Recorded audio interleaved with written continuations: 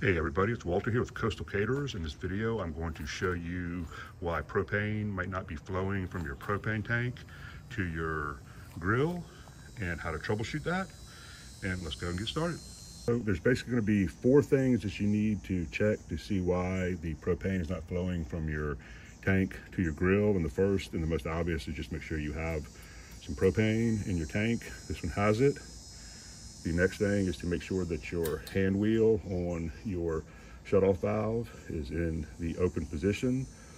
And the third thing, and this is usually what it is most of the time, is the adapter here.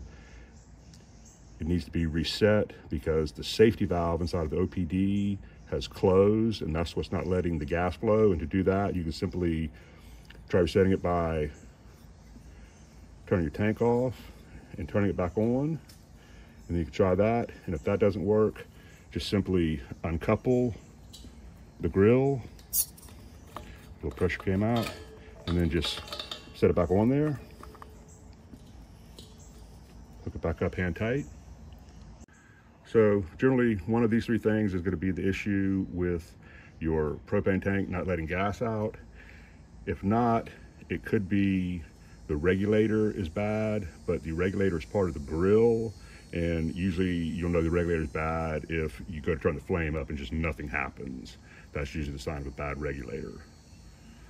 So if you had a chance to subscribe to our channel or give this video a like, we'd appreciate that.